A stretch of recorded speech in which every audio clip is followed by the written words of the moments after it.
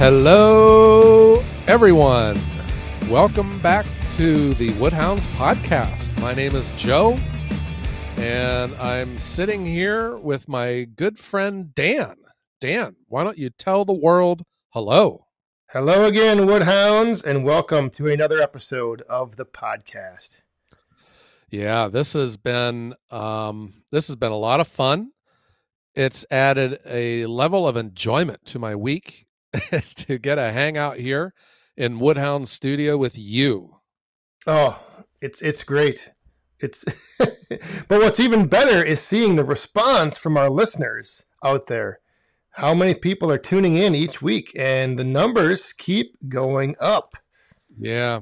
You know, the thing that I keep forgetting about in podcasts, you know, like in YouTube, you want to get a view and in podcasts you want to get a download Yes. which means that a person listened to to the podcast and you know podcast is still a pretty new thing for me i'm still learning about them and how to navigate them and how to search and i just can't help that it's the same out there for our listeners you know that i think for a lot of us this is this is our first experience with a podcast Yep. Yeah, and and once you know, once you get dialed in, I, I mean, it's it's pretty simple, but it's just that initial finding the platform and finding the podcast itself that can be Mhm. sometimes a bit of a challenge. And people have done pretty good in subscribing, you know, where they click on the appropriate button.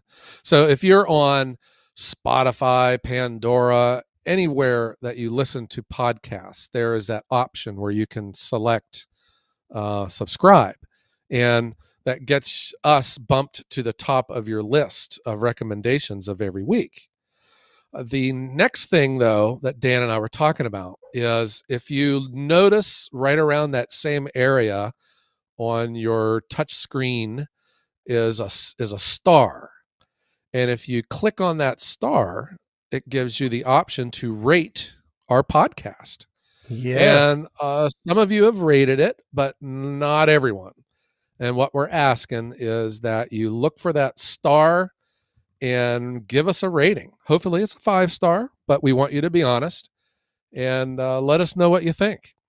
That's right. Let us know if- if you and the other thing is if you do have any feedback or any ideas for topics, you can always email us at thewoodhounds at gmail.com. Yeah, we go love ahead.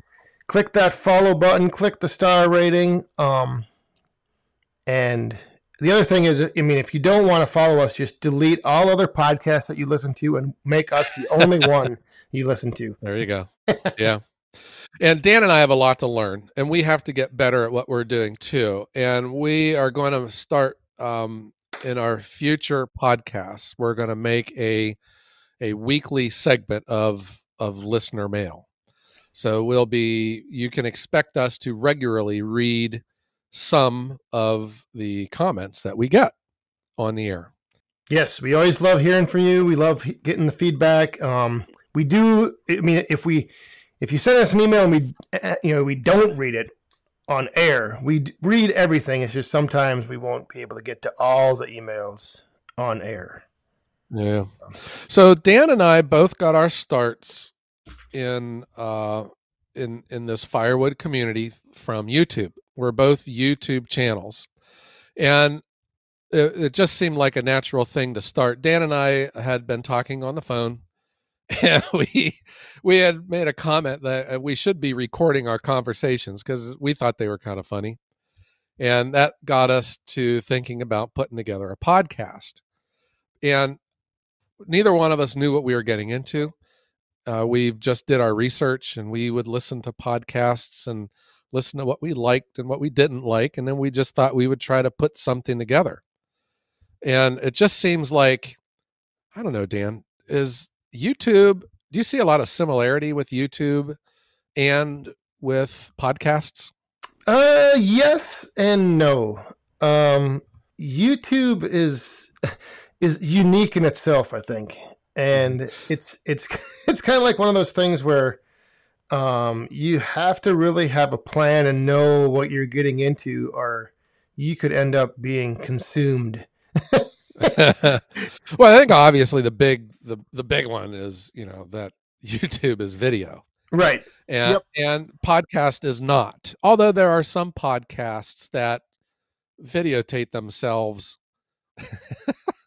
sitting at a desk talking into a microphone. right. Which I don't know, whatever. And because uh, you know, Dan and I prefer to record our podcast wearing tuxedos and those uh, top hats like the guy the Monopoly board has. Yeah, it just doesn't give the look of a firewood podcast. See us in that attire. So, but maybe yeah. eventually we'll get to the video part of the podcast. We'll see. Yeah, yeah. But that's one of the power of podcasting is you can paint pictures in people's heads. You know, of uh, you know, here. Uh, spoiler alert: we're not wearing tuxedos and we're not wearing those funny hats, but that's the power of podcasting, and that's why I think it is. You know, I, I, hear about some of our our listeners. For instance, our good friend Skidder Kev from Canada listens to our podcast in in the cab of his processor or his uh, or one of the machines that he's driving around his woodyard. You know, and, and what a great way to escape of just listening to uh, you know to people talking about a similar interest. Right. Yeah, and that's where it's different from YouTube, where you could you could just listen to the audio, but it probably wouldn't make a lot of sense unless you're visually seeing what's happening in the video. Yeah, and especially with firewood, because you know that's some of the appeal of firewood on YouTube is watching the logs getting cut. You know, and yes, the, the, and the saw just yeah, the saw ripping into the wood and throwing chips and splitting it and stacking it and, oh, that and, fun stuff. And me complaining about the weather and the and the mud, all of that, you know. So that is, I think that is, um, you know, it just seemed like starting this podcast was, I don't know, just seemed like a natural, natural progress, don't you think? Yeah, and and maybe I mean, if there are listeners out there who have stumbled upon the podcast and don't know of our YouTube history. You know, yeah. it's it's it is kind of interesting. I think, um, kind of how we both kind of started. So, yeah. I think it might be a how good did, little topic to. Uh, could be. uh, yeah, there's there's a lot of you that I know, and there's a lot of you that I don't know. Uh, like I knew that you uh, grew up on a farm, that firewood was a part of your youth, and uh, it built a lasting relationship with your family. Uh, but what I don't know is how you decided to turn that into a YouTube channel. Well, sitting here today, I often ask myself why I did did that. no, it was um. Well, I also have a little background in history with my where my the job that I have. Um, I used to also be into like motion graphics and do a little video work so I kind of had that as a second interest and hobby as well. Um, and then when I started making firewood to sell, I just kind of I was on YouTube watching other channels, and I just got the idea to kind of mesh my two interests of uh, video and firewood, and and start a channel to see where it went. Mm-hmm. I I found myself just watching every video I could find of firewood being split. There's just something so satisfying yes. of watching logs getting split. But your channel isn't always isn't just about though logs getting split, is it? You you you to me have that emotional connection that I think all of us are looking for and that's what i that's the way i view your channel that it is not just wood getting split and stacked. And there's a lot of channels out there like that and i love them all. Uh, but you know every channel has their own thing your right. thing to me is that emotional connection that people have to firewood because it represents something more than just labor you know there's that connection you know yep. you and your parents and your youth and and all. And I think that uh, reflects in your channel. that's that's one of the things I did want to focus on was like just making that connection and just being engaged with the person watching to have them kind of understand there's more to firewood than just like you said logs getting split and logs getting stacked and you know all the things you think of with firewood um and then incorporating the fun part of it. Like for me it's fun and it's fun yeah. for me to i guess try to bring that to light on camera and i don't know.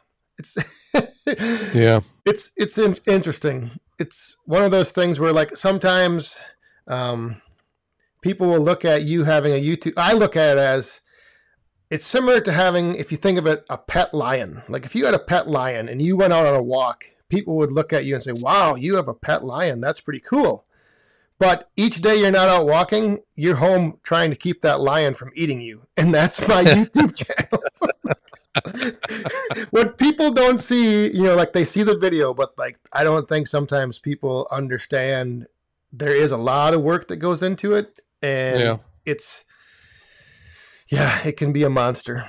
Do you find is it does it cause you stress? No, no. Um, but I did when I started my channel. I did like I'm one of these people where if I set out to do something, I'm like setting goals and I'm setting standards to where like I figured out when when I wanted to post videos, and I just made that a non-negotiable part of my routine. So no kidding. I stick with it every Sunday, Tuesday, Thursday, a video is going to come out. I find that shocking to hear. I'll be honest with you. You don't come off to me as a person who lives that kind of regimented lifestyle. You, you, you, uh, to me, you just seem like you know you just do what feels normal and you just do it. And if it's great, great. If it is not great, oh well. well, that is the only part, part of my life that I do have a regiment. but no, it's, it's no. I, am I'm, I'm I'm surprised to hear that. You know, because um, but uh, I think that probably is a compliment because you know how like they always say you know like a like a, a world class athlete just makes it look so easy. Uh, and that's because you don't see that person sacrificing you know hours yep. and hours in private you know working on their physical fitness and their skills to where they make it look easy. Right. Because your videos seem relaxed and easy to me you know they're just enjoyable they're not they're not busy you know or complicated and that's the appeal i think. Yeah well i mean and that's it's not like that stuff doesn't come across in videos and i don't think about it that hardcore when i'm making videos it's just that i starting out, you know, I wanted to stick with something, and I I just have it in my just from like my past work experience. Like it's you know, if you set something up, you try to achieve that every time you mm-hmm. want to do it. So did did it start and become easy for you, or was it uh, tough, or did you think about quitting? You know, how how did the startup go? No, it was it was relatively easy. I mean, some those of you that follow my channel probably know I also have a history. Um, for a while, I was in the local independent professional wrestling scene. so I have experience in front of the camera, um, talking to crowds, you know, just being comfortable in whatever moment I'm in. Mm-hmm.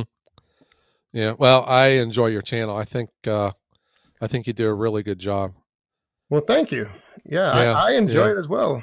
It's it's mm-hmm. fun. But what about for you? What was uh like when did you start and what was your motivation for starting a yeah. YouTube channel? Uh, I I I consider myself an outlier. I my channel is just a 100% accident. Uh, it was not intended to ever exist. And you know, I I spent many an hour of my life uh, just sitting with my laptop at night watching YouTube videos of wood getting split. And there was this one channel, the guy, he's a big guy. His name was Tim from Minnesota. And he had a tree service and he split wood by hand. And I've watched every one of his videos and I just loved it. And he just seemed like a normal guy. And he always had this mandolin music on it, you know. and that uh, I that was where I got started at least knowing that firewood existed on YouTube. Yeah. And even then I never thought, "Oh, what the heck? I'm going to go start me a, a YouTube channel," you know. It was uh the starting of my firewood company, which was going to be small. And I need to do a video on this one day, but uh, the, I've kept the secret from people. oh, yeah. Uh huh. You know, I I'm serious. We I'm we don't live a Spartan lifestyle, but I'm not a materialistic person. You know, we don't have, you know, the newest furniture in the house and the brand new car and this and that. You know, I mean, we don't live like paupers, but you know, we don't we live pretty modestly. I had this idea. I just thought that the Maserati Gran Turismo was the best looking car in the world and I wanted to have one. and I I came up with this idea that I could make a side hustle selling firewood and just save all my money and I'm going to buy me a Maserati Gran Turismo. And that's that was the motivation behind starting a firewood side hustle, you know, because yeah. I mean, we're not rich, but we're not poor. And, you know, yeah, it, if, and I don't want to have to work for extra money if I don't have to, but I thought it would be fun. It would be like a nice goal. So that's what started. that's what started Ohio Woodburner. So, uh, right when I started the the firewood business, my dad, who was elderly, uh, was he was in declining health and there was just this perfect storm of life circumstances. My my job wanted me to relocate and dad was not doing well and they uh, off my job offered me a severance if i were to just go away and i had uh, two other job offers lined up and that's when dad approached me and said uh, why don't you maybe just take a little break from work and take care of me. Uh, you know, my wife gave me the thumbs up, and uh, you know, so I started taking care of dad. I took a short break from work, and um, during that time, you know, COVID hit, and um, my daughter got sent home from college, and when dad passed, I, you know, my firewood business grew too much for me to walk away from and I really did think I could make ends meet selling firewood. And my wife gave me the thumbs up. And my daughter, you know, was filming me uh, with our new. We bought that Japa firewood processor, and it's just a fascinating machine. And that the videos of that machine made my my channel just. Eh, I mean, I'm serious. My channel grew overnight yeah, yeah, yeah. To where, yeah, to where I didn't know what the heck was going on, and quite honestly, Dan, I we were at the crossroads where I thought this is not even what I want, and I was getting ready to pull the plug on doing our videos because at that point, you know, I had strangers showing up at my house. Um, you know the the you know the problem that with that i mean everyone was really nice you know there yeah. was no like you know, it wasn't like, you know, the Manson clan or someone showed up. The the point was I never told anyone where I lived. and people, you know, figured it out on their own. And, you know, I'm raising daughters and it was just, you know. Right. So that that was a little bit of overwhelming for me. And I was honestly thinking of I don't I don't need this and I don't want this. Uh, but we talked it over and we just kept you know the videos going and see where where it could lead. You know we got monetized quickly and my channel grew from 100 to 1000 to 5000 to 10000 to 15000 very quickly. Yes. And, and and here we are. And here we are yeah. Yeah uh-huh. I still remember the day that um, daniel atkins sent me a link to your video one of your first videos and you were out on a delivery and I was just like, oh, this is a nice, interesting perspective because like I think you would like drop your daughter off and then drive around the block again, and Yeah. he'd film you coming into the to the wherever you were delivering to, and you know, and it was just unique because there, I had never seen videos on the side of firewood from like your business perspective, and Right. that's that's to me what what you know lured me in and set the hook. Hmm The uh, every channel's got their own niche, and and one of the things that one of the principles that I followed with starting my business was I didn't want my business to be just like every other firewood delivery service out there. I wanted to be different, wanted to be exceptional. And we took that same approach with the YouTube channel where I just didn't want it to be wood getting split, although I have a lot of ch- videos that is just that. But the underlying theme of the channel is, you know, a person who technically doesn't know what he's doing. Um, you know, let's, I, I'm being serious here. And, you know, leaving his full time career to start a side hustle with this crazy idea and, and making it work. So that was, you know, the, the underlying message with it. And I think it really resonated with a lot of people. A lot of people latched onto it and it meant and it meant something to them. The way people responded to our our channel and my story, it made me want to be better, you know, and and make our videos better. And that's why we put as much effort into them as we have. Yep. So yeah, that is, you know, if you, if if Ohio Wood Burner is anything, it is, you know, we're we're trying to be different from all the other firewood channels out there.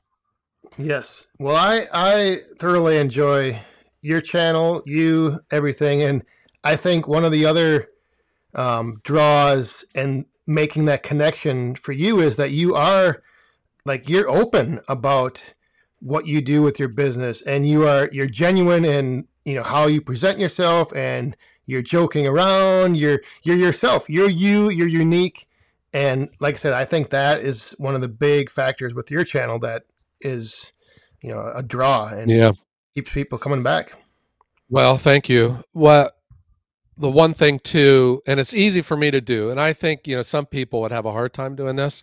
I have no problems showing you know all my mistakes and where I've screwed up. Where I would want to go in one direction with uh, bundles, and then start losing interest in it, you know, and it's for no other reason than bundles just aren't that fun for me to make Yeah. you know?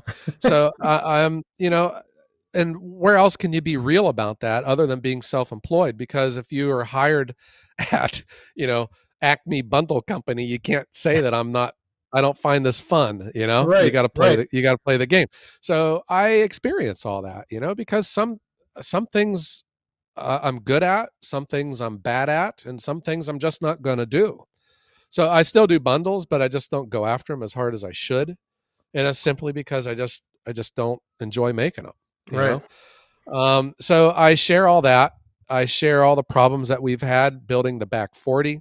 I even share like pipe dreams. You know, I have this brilliant idea of having a building and stuff, and I just change my mind. You know, and I think that happens all the time in every business, and I just show it.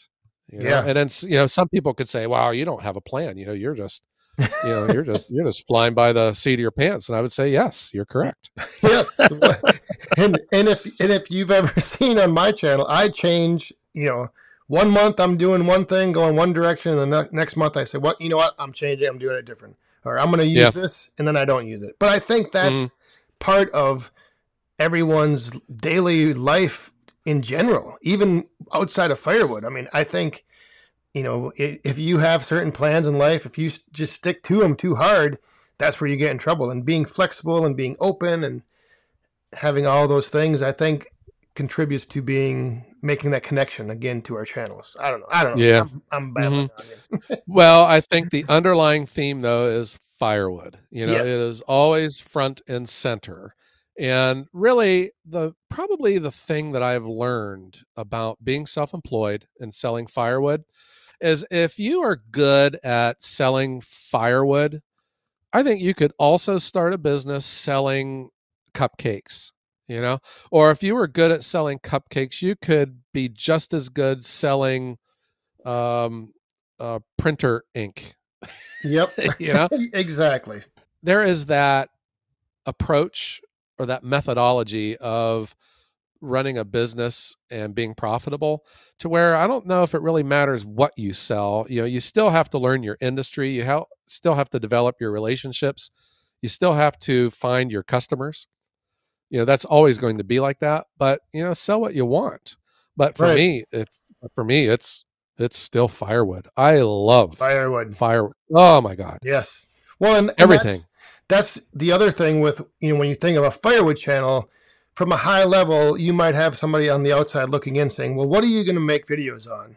If you're just you know, firewood is firewood, but Yeah. there's the processing, there's the gathering, there's the selling, the season. I mean, there's a lot to do with firewood, and I think it shows on these YouTube channels. Like you can Yeah. really create some nice content just on the idea of firewood being your topic. I think so, but I also think too that deep down the the viewer on YouTube, I don't think they care. I think they just enjoy uh, seeing what you're up to and and hanging out with you for that for that short time in your wood yard. Right. Yep. hmm There is a lot of repetition. I think it would be in any business. It doesn't Yeah. matter. You know, I mean, how many videos have I done where I'm just stacking wood and just shooting the breeze, you know, just talking into the camera about whatever's on my mind. And and those are some of my best viewed uh, videos. And I- I think it's because, you know, people feel like, you know, I gosh, I just wish I could be there with you. You know, we could complain about the weather and, Yeah. you know, yeah, some Crack of the jokes and have a good time. yeah, uh-huh. and that's why I think you know, even if there is repetition, I don't think people really hold you too accountable to it. Uh, but then you know, you throw in these machines, Oh, and um, you know, so that has been an interesting thing uh, that happened with YouTube um, when you get big enough, and certain industry manufacturers call you. notice you. Get- you get noticed. Let's just Uh-huh. say yes. Yeah. Who ha- who has noticed you uh, with your channel? Uh, well, if you look at my inbox on my email, I am noticed by a lot of people, but I don't want to be noticed by them. yeah, uh, I know what you're talking about. yeah, so that's that's one thing uh, with my channel anyway. I tend to not want to get too, um, you know, like pushing products or just you know, it's yes, it's worth something to be able to get like some free tools to demo or something, but sometimes that can lead down the path of now you have to say certain things that you don't want to say, and you can't be Yeah. yourself. So Yeah. it, it all depends on where the offers are coming from and whether they're a good fit. Yeah, I I I am like you. I wish I could. I should show everyone these emails. Did you get the email for wallpaper? Yes. I had this company wanting me. They said we really love your channel and we want we would love for you to show our product on your channel. And I was like, well, what the heck is it? You know, it was wallpaper. what the heck, man? Yeah, I think you're you're talking to the wrong person here. Yes, I've gotten all kinds of solicitations. So I, I- I'm going to be honest. You know, at first I was, you know, it's you're infatuated with with that whole thing. You know, where like, what the heck, man? This is because the way a lot of um, uh, manufacturers or you know, people that own these products they approach you is they will say, "I will give you this uh, tool." If you can do a review on your channel, Yep. and um, I, of course, you know, I've taken people up on that, but where I drew the line was I have never once signed a contract. I never once um, agreed to what I was going to say.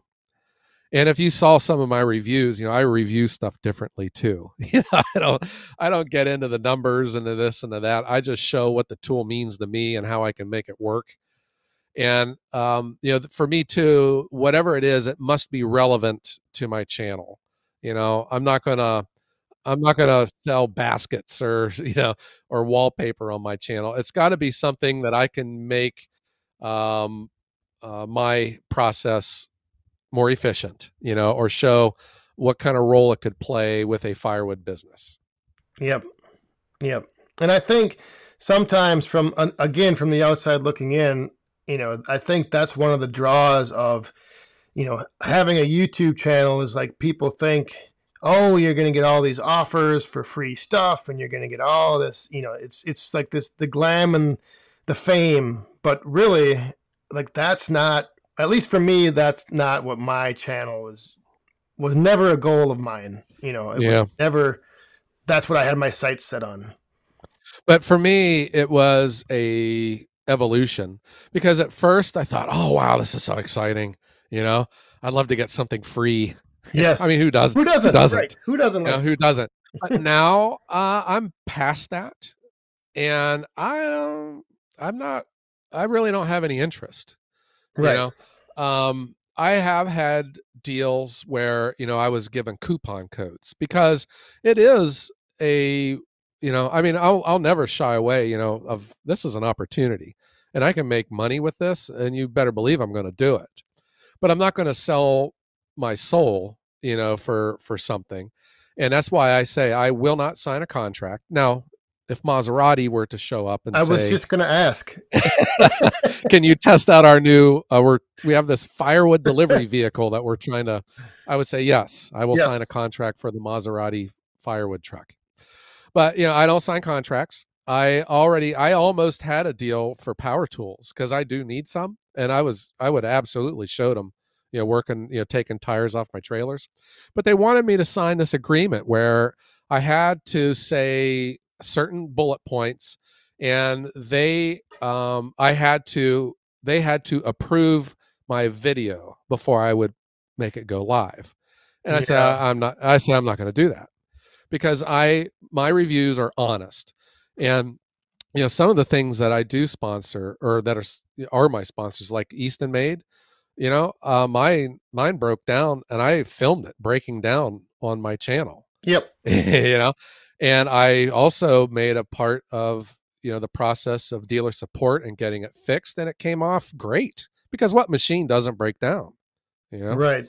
Yep. uh, my yap my Japa firewood processor which i did buy uh, with my own money but since then you know they've been so happy with the response and the visibility that they've been getting that they have you know sponsored me with like the live deck and that conveyor and yeah. uh, you know some upgrades on my machine but my machine blew a hose at 30 hours and i put it on you know? Yep. And that's that's just the way it is. If they uh, if and that's what i've told people you know if you're willing to take that risk of me saying that this you know that this tool is a turkey I, am not your guy you know because the tool's no good i'm going to say it yeah. You know? Yeah. I'm gonna be polite still, but I'm gonna I'm gonna be honest. Well, exactly. Yeah. There's that line you can cross where you become a jerk about things and yeah.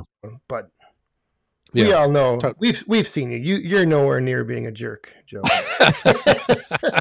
Until they turn off the camera. That's yeah. right. so I also notice you I have my daughter, she films me when she's home from college. But what kind of support do you have or you use the tripods or does your wife yep. hold the camera or how do you do it mostly it's a one-man band is it yep yeah. it's all me with tripods and different camera mounts and that's about it mm-hmm. do you find that sometimes you know just the way the weather is your mood you got to get stuff done that you just don't even film stuff that you probably should have Yep, I I have those two mindsets. I well, and I have I'm like if I know I want to get something done, I don't think about creating content. If I want to create content, then I look for what I can what I need to do or what needs to get done that day and I find a way to create the content. But yeah, it some it yeah. seldom ever meshes together. yeah.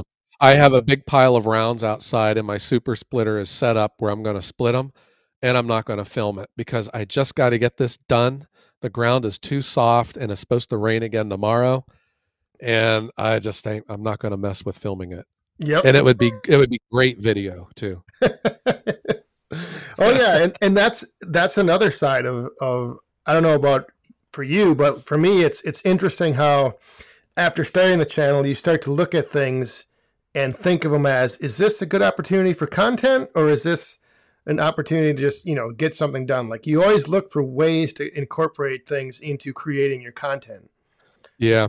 For me, when I started really getting into it, the one thing that really I have to focus on is the time of day because where the sun is shining and the direction of where the filming would take place, it's looking right into the sun and the video looks terrible. yes yep. You know, so uh, it's just it's just it's weird, you know. And like the wind is a big one for me. We sit up on this ridge and it is so windy out here. And that wind blowing is such a distraction. I think it just ruins a video. yeah So there are some days where I got work to do, but I just can't film it because it's a hurricane outside. right and that Mhm. it the interesting thing is like when i used to watch videos i never paid attention or even gave a thought to the fact of like oh where was the sun when they were filming this or where was their lighting source Yeah. and now you know that's something that i think a lot of people overlook is I yeah, know. I'm, I'm the same way it's like all right i gotta wait till four o'clock before i can start filming because then the sun's going to be behind this tree and it won't be in my agree. eyes Yeah, totally agree. Like I never even noticed it was windy at my house all the time, and still we started our videos. I was like, "What the heck? It's windy right. all the time." right Like uh, my daughter, she'll hold an umbrella for most of our videos because that's Yeah. the, the wind. You know, just to keep the microphone out of the wind. So, so looking back to that day when you first hit record on your camera, Yes. uh, do you wish you hadn't? Any regrets? Any plans for changing in the future? I no, I I love YouTube. I love my channel. I I I'm totally honest though. You know, when this first started, you know, we went from like zero to a thousand real quick, and that's when you know I had some people showing up at the house, and that's when I was like, oh god, you know, Yep. I don't know if I I don't know if I want this. Um, I I you would have never thought that putting a YouTube video up, you know, would make you uh, a celebrity like that. You know, um, so I seriously that was that was the first and that was the only time where I thought about quitting. Because once we got to a thousand, that's when my daughter said we can monetize, and that's when you know you you can get a check from Google once a month because of the ads.